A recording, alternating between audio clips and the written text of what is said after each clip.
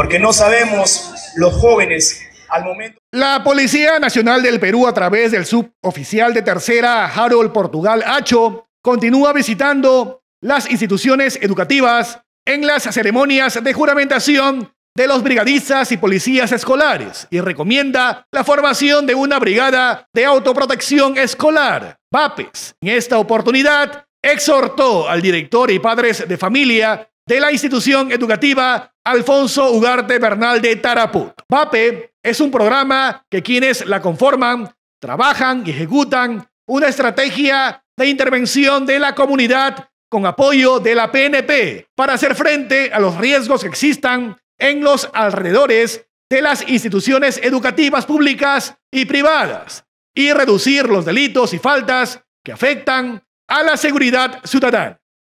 Les a formar nuestros VAPES. A formar nuestros VAPES, señores. ¿Qué significa VAPES? Los VAPES son los brigaditas de autoprotección escolar. ¿Quiénes se encargan los VAPES? Los VAPES se encargan los padres de familia, al cuidado, al exterior del colegio. Ellos están en la hora de ingreso y en la hora de salida, porque no sabemos los jóvenes al momento de salir de esta prestigiosa institución, no sabemos con quién se relacionan o qué, o qué personas están en la parte exterior a esperar sus acechos. Y no queremos esas cosas.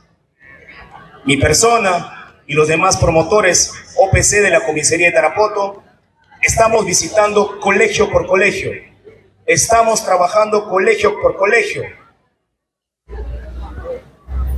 Invito al señor director, al término de esta juramentación, vamos a seguir conversando y vamos a tener que formar nuestros VAPES.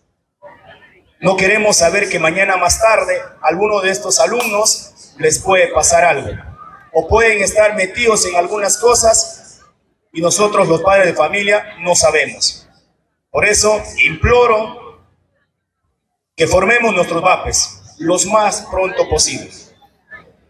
Las VAPES son presididas por el director de la institución educativa y están conformadas por docentes, padres de familia, juntas vecinales, policías escolares y efectivos de la Policía Nacional. En forma coordinada, desarrollan su labor preventiva preservando la integridad física y moral de los alumnos.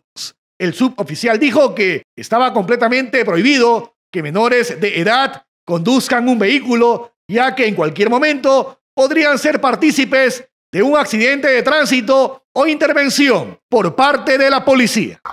Desde el día de mañana, todos los brigadieres o policías escolares vienen correctamente uniformados. Otra cosa, está tajantemente prohibido que un alumno, ya sea de este colegio o sea de otro colegio, esté conduciendo vehículos menores. Está tajantemente prohibido.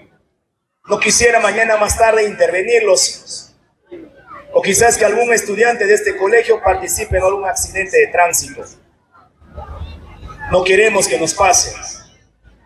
Por favor, imploro ante todos los colegios y este colegio está tajantemente prohibido manejar un vehículo menor.